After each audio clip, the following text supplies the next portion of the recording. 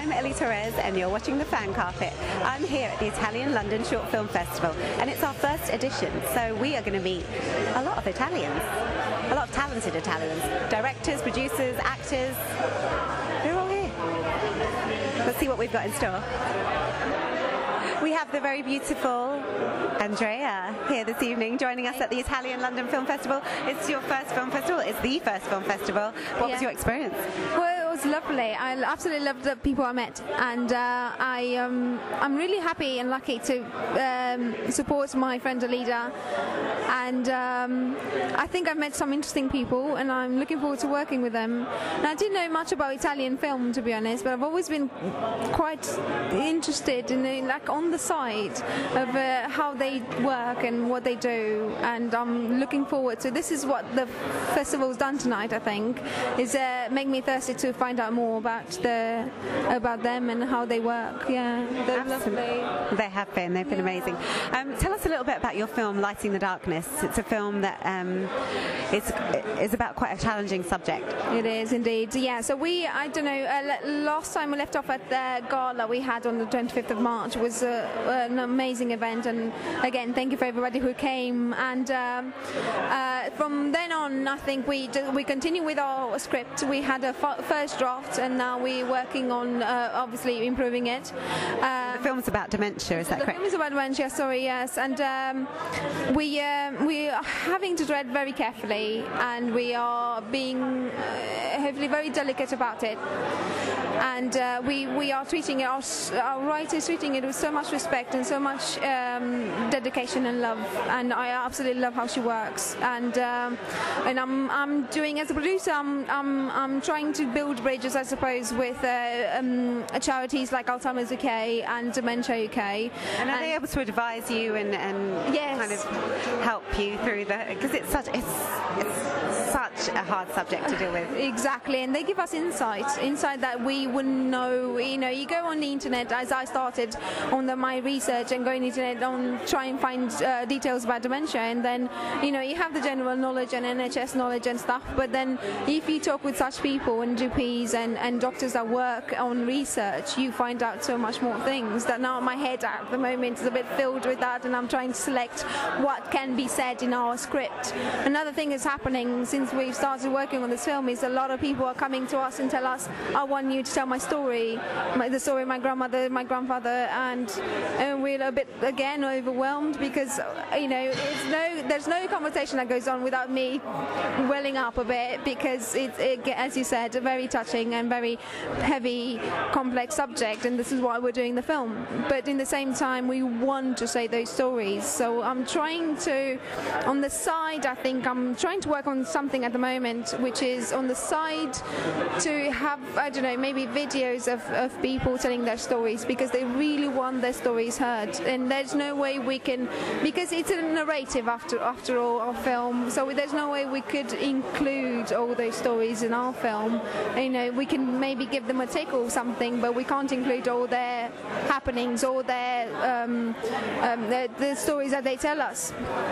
So um, we're going to have that on the side. Maybe that's um, early days. I don't know how it's going to work out.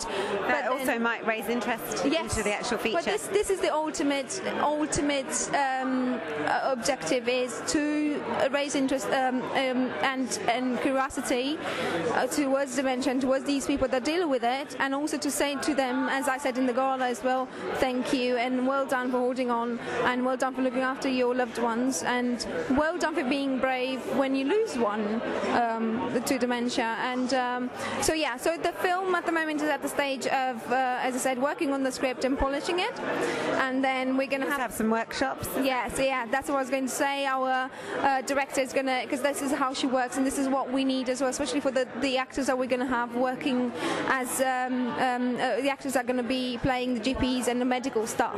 They will need to be work, work, workshopping this. Yeah, they need to do their research. And this is exactly, and this is where because we want to help them, but in the same, they will be doing, I'm sure, their research. But on the side, we're going to workshop these things because they'll we would need to, to kind of build a nucleus and all be working in the same. Um, Almost like a theatre production. Exactly. We need to be synchronized and we need to think alike in order for this to work. Because, and of course, they're going on the side and each do their own work. And uh, myself as a producer, as I said, I'm going to try and uh, and connect everything. And Alzheimer's and, and dementia, this is how they help us with advising us, with offering us the people that want to work with us as consultants. And what's been tricky a bit is people, uh, because they're so busy and they're doing such huge work, it's been tricky to get someone uh, committing to being on the set with us.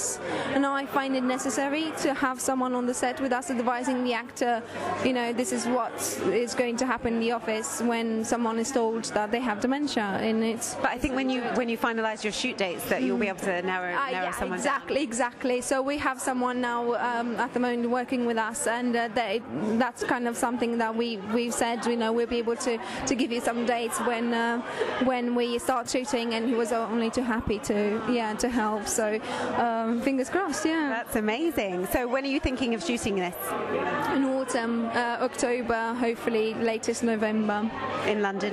Yes, in London. Yes, it is in London. Um, there is um, again our director's been um, um, gearing towards this care home she knows, which is in Norfolk. Uh, which okay, uh, so it might be that as well. So we we'll see. Okay, and how are you doing with the financing? With the, being the producer, having to try and raise all of the. Yeah, well, um, when we uh, when we have everything finalised as um, script goes and director and all that, uh, and the crew will know exactly how, and the locations will know exactly how much we need, and then uh, part um, side will be uh, Arts Council and any other founders that will be happy to, to help us, and there will be crowdfunding as well, because we can't raise the the, um, the whole amount for through crowdfunding. It's not possible. So yeah. So you will be back to talk about it more, I'm sure. Yeah, yeah, you will hear about us again, I'm sure, yeah. Well, I wish you all the luck with the project, and I look forward to hearing more updates on it. And it's such an amazing and powerful subject that needs to be dealt with, and so many people suffer every day. So Yeah, you won't believe it, and we're very passionate about it, and we're really, really proud to be doing this film, actually. And uh, you know, I hope it's going to happen, and I hope we're going to do a good job. I'm sure you will. Thank, you. so much. It's been a pleasure to see you, Andreea. See you soon.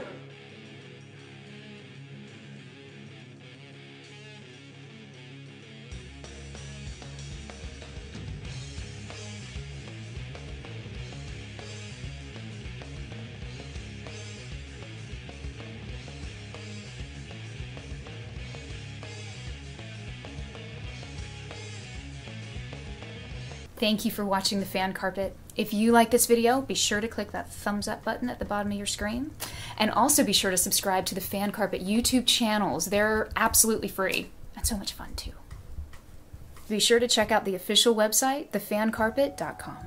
Also, you can follow us on Facebook, Twitter, and Instagram to stay up to date with reviews, competitions, the latest news, and so much more.